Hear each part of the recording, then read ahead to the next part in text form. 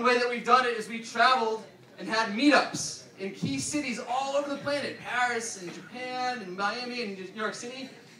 And I want to close by inviting you all to our first Tokyo meetup tomorrow night at the Kanban Cafe from 7 to 9 p.m. Hope to see you there. Thank you very much. No, thank you so much. Let's hear it go one more time. What's amazing is we met 2006 in San Francisco as PechaKucha starting. He's been one of the best PechaKucha supporters and um, yeah, many synergies. Um, thank you so, so much.